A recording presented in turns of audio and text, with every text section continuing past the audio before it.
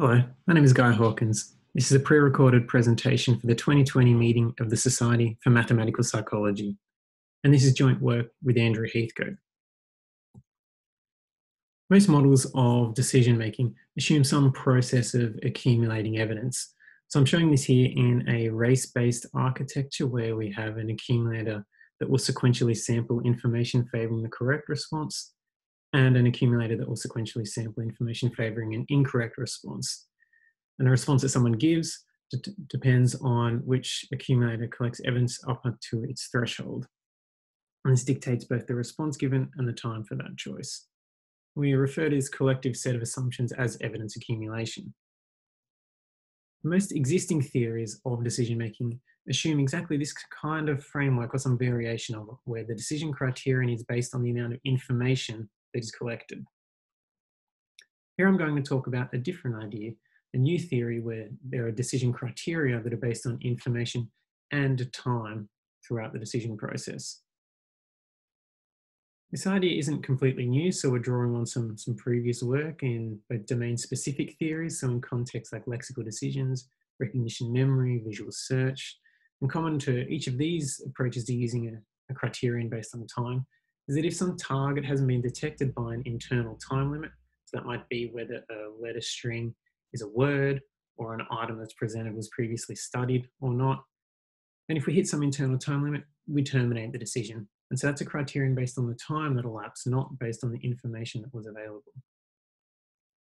The idea is also seen in domain general theories. So in very early work in the, you know, the runs model from Audley and deadline model from Ollman, so in the 60s and the 70s, it's had a resurgence recently in uh, more general models such as collapsing thresholds and urgency signals. Our goal in this work was to try to unify these phenomena in an integrated decision framework and then systematically assess them against a broad set of benchmarks. So to do this, we start with that evidence process that I talked about before, where we have a decision between n options as a race between n accumulators. And to that, we're going to add a timing process so this is represented in a very similar way in the model. So we have an accumulator. On the x-axis, we have the passing of real time, and on the y-axis, we have some kind of accumulated time or perceived time that has passed. And so there's a temporal integration process at a particular rate up to a particular threshold. And so this is represented in the model in the same structural kind of distribution family as the evidence process. And so now we have an evidence process that races against a timing process such that a decision between n options is now a race between n plus 1 accumulators. When we set things up in this way, we have our parameters of the evidence process that we're familiar with, that we have good evidence for, such as the drift rates, thresholds, and non-decision time. And we have similar parameters in the timing process that also has a particular rate up to a threshold and some detection and movement time. The model has a simple setup for the predicted RT, and that's just the time of the first accumulator to cross threshold plus some fixed offset. And the predicted choice, which depends on which of the two processes crossed threshold first. So if it was one of the accumulators in the evidence process, then the response is just the accumulator that crossed threshold. If the timing process was first to cross threshold, we assume that the decision maker just guesses between the n options. There are other ways of representing this that we've looked into, but the data sets we've considered so far, a random guess was sufficient. So we refer to this collective set of assumptions as the timed racing diffusion model, or the TRDM.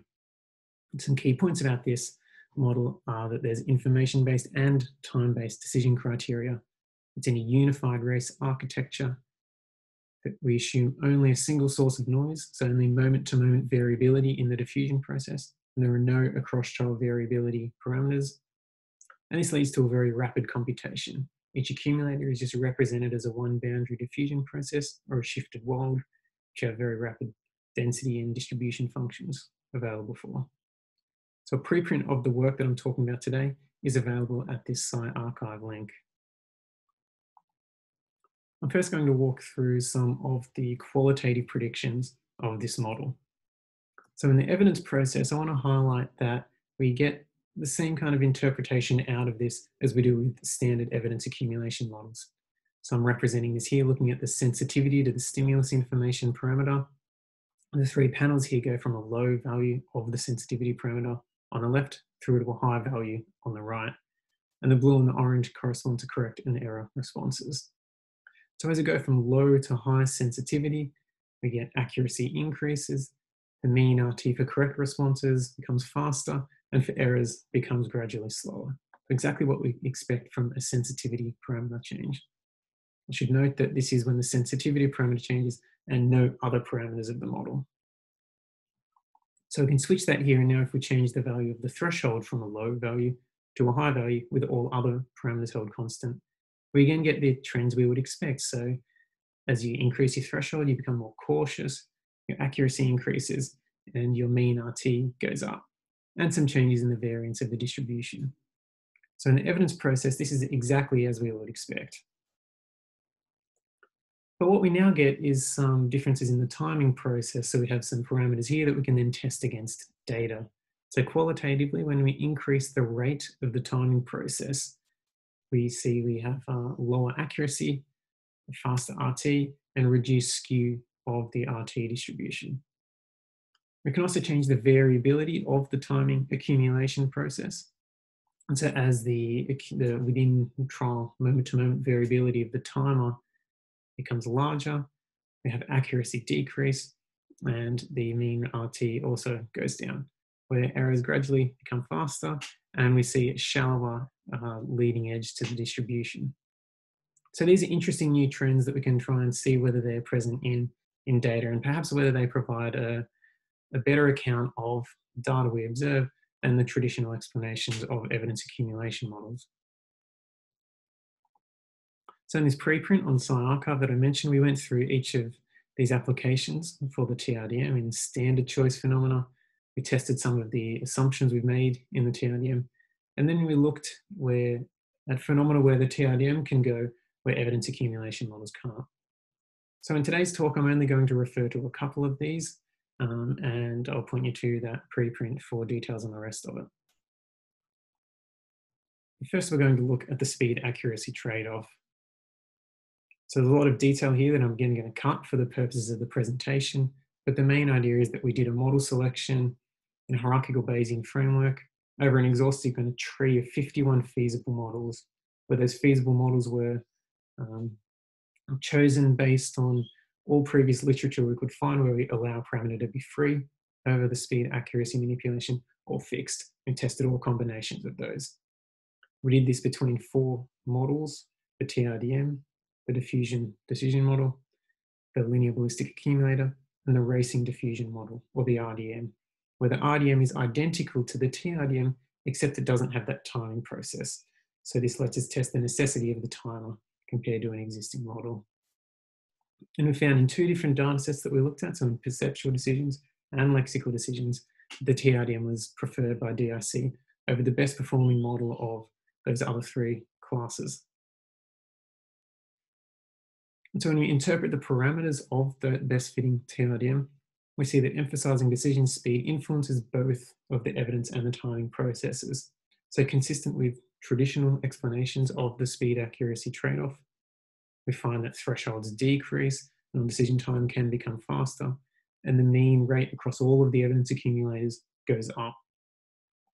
But we also find that in the timing process, the timing rate goes up. So as you're asked to be faster, you kind of set your internal clock to run faster, which is very sensible. In fact, the strongest effect sizes we found uh, in these data sets, I'm showing Z scores here for the perceptual decisions, was actually in the timing rate and the non-decision time. And the traditional explanation of the changes in threshold was actually the smallest effect size. So I'm not going to go through all of the goodness of figures, but I'm just going to pull out one here where we're looking at the conditional accuracy function. So accuracy on the y-axis at different RTs. And the black showing data and the posterior predictives of the model in grey. And we see a traditional of finding here that's also been seen as some evidence for collapsing thresholds. So we see a rapid rise in accuracy across these very fast RTs up to a peak, and then a slow decline in that conditional accuracy function. And we're seeing the model is able to capture this general trend as well. And the way it does that, we can look at through a figure of the relative likelihood or the probability that each of the three accumulators in a race, so the correct and error and the timer, have hit threshold before the other two accumulators as a function of time. So early on, we see that the correct and the timing accumulators are both about as likely to be at threshold at those very fastest responses. Then we see a rapid divergence and the timer drops down uh, and the correct accumulator goes up, and then they slowly start to move back toward each other. So this shows us how the model is able to account for fast errors, the timing accumulator is hitting threshold early, and also slower errors, the correct accumulator becomes less likely to hit threshold as time goes on, and the timer is more likely to hit threshold. Since the timer gives a random guess, it means that we're more likely to get an error response. And overall, this we get the prediction that 20% of the 27% of the trials are terminated by the timer. In the accuracy condition, we see the conditional accuracy function kind of overall elevated as we'd expect, and fewer fast errors. We see a similar shape on the relative likelihood panel in the lower half, but more separation between the correct and the timing accumulators, as we'd expect when people are trying to be more careful about their decisions. And we see fewer decisions overall terminated by the timer. In a second application, we're going to go beyond standard choice tasks. So paradigms where typical evidence accumulation models don't have a natural explanation. And our motivation with this one is that the timing process in a decision task should relate to the timing process in a timing task if there is any kind of external validity to our assumption about a timing process. So we did this by looking at individual differences in the timing precision. So we looked at a data set where the same participants completed a decision-making task and an interval timing task. We applied the TRDM to these model, to, to these data simultaneously um, uh, to both tasks. And here I'm showing a goodness of fit figure where we've observed data on the x-axis, predicted on the y, and each dot represents a participant where the colors show the speed accuracy manipulation. We're seeing an excellent account of the accuracy and the correct and error RTs. So the rows here representing different uh, percentiles of the RT distribution for correct and error responses in the decisions, but also those same quantiles again in the interval timing task. So the model's doing an excellent job here.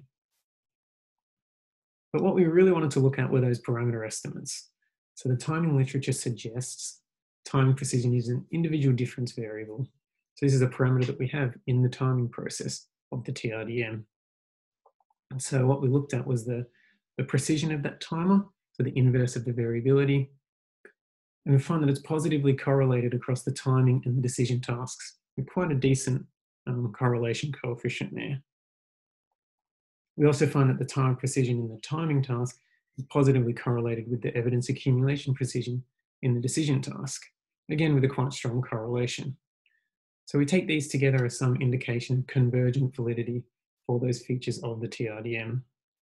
But importantly, there's not just a correlation among everything, because the time of precision in the timing task was not correlated with any other parameter of the evidence process. And we take this as evidence for divergent validity. The take homes from this uh, talk is that we developed the timed racing diffusion model, or the TRDM. This is a race between one boundary diffusion processes that was shifted Walds. The model components have a history in the decision and the timing literatures, and it generates novel and testable predictions for decision and timing phenomena.